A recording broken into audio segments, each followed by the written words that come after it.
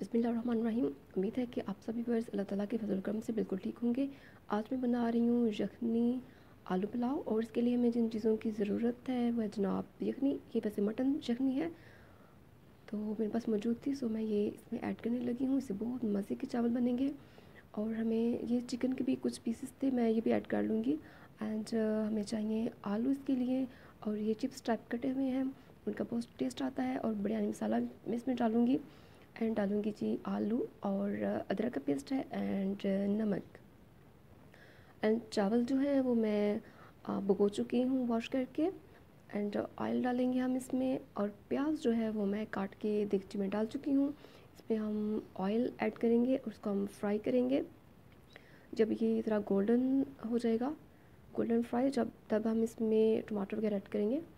हाँ अब हम इसमें डालेंगे टमाटर अदरक है और जो नमक है वो मैंने ऐड किया है। इसको हम ज़रा सॉफ्ट कर लेंगे। जब ज़रा टमाटर सॉफ्ट हो जाएँगे तो तब हम इसमें दूसरी चीज़ें ऐड करेंगे।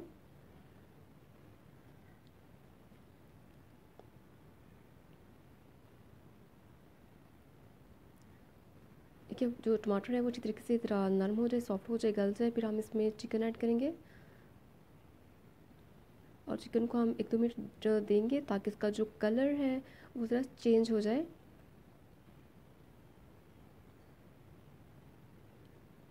हल्का सा ये ब्राउन होगा तो हम इसमें आलू ऐड करेंगे। अब हम इसमें आलू ऐड करते हैं।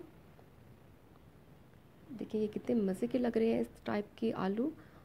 और जी, ये बिल्कुल चिप्स टाइप इसको एक दो मिनट हम फ्राई करेंगे।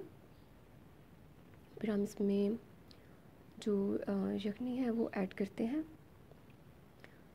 तो पहले हम तकरीबन एक गिलास यखनी है वो डालेंगे और उससे पहले हम बिरयानी मसाला है वो इसमें ज़रूर हम ऐड कर लेंगे ताकि जो मसाला है वो अच्छी तरीके से आलू में चिकन में, मसाले में रच, बस जाए।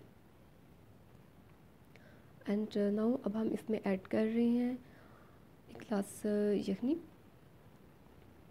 तो अभी हम एक गिलास ही डालेंगे। ताकि जो हमारा चिकन है एंड जो आलू है, वो हल्का सा ज़रा नरम हो जाए। तो इसको एक दो मिनट हम ढक के रखेंगे।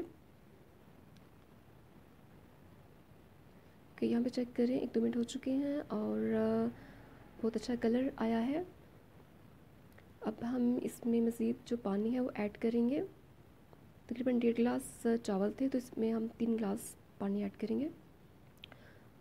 और बॉयल आ चुका है पानी में। अब हम इसमें अपने पीके हुए जो चावल हैं वो ऐड करेंगे।